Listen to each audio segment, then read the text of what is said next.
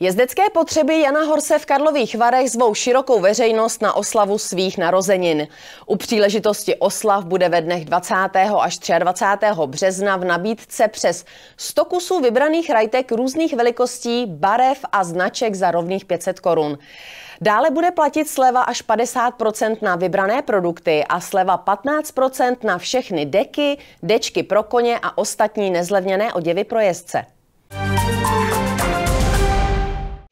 Již druhý díl výstavy Modelářský svět zavítá v březnu do Plzně.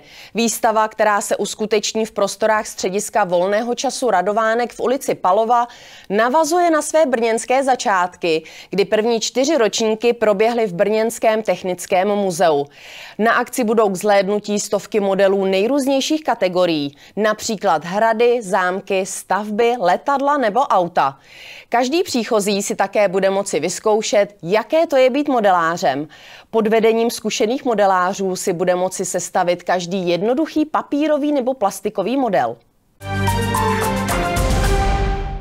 V Aši v textilním muzeu se ve čtvrtek 14. března od 17 hodin uskutečnila vernisáž výstavy Historické cukrárny.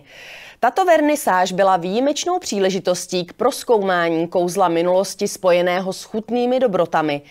Během akce měli lidé možnost ochutnat tradiční dorty a dezerty, které byly vybrány s ohledem na historické receptury a tradice. Po startu na halovém mistrovství světa v atletice ve skotském Glasgow čeká čtvrtkařku Škody Plzeň Terezu Petržilkovou další vrcholná akce. 30-letá atletka byla nominována na světový šampionát štafet, který se uskuteční v květnu v bahamském Nassau. Petr Žilková se zúčastní štafety na 4x400 metrů žen i stejně dlouhé štafety mixu. Týmové závody od 4. do 5. května budou přímou kvalifikací na olympijské hry v Paříži. Tenista Jonáš Forejtek skončil na turnaji nižší kategorie v Maďarsku ve druhém kole kvalifikace.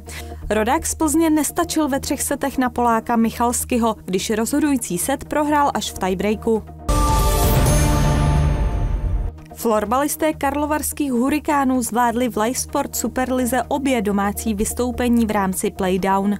V hale míčových sportů porazili pražský Batčis 4-2 a 5-0 a v sérii hrané na čtyři vítězná utkání se ujali vedení 2-0 na zápasy. Karlovy Vary se stanou dějištěm dvou přípravných zápasů hokejové reprezentace před blížícím se mistrovstvím světa v Praze a Ostravě. V Lázenském městě odehrají 11. a 13. dubna duely s Německem. Oba začínají v KV aréně v 17.10. Užijte si naše následující pořady a mějte krásný zbytek dne.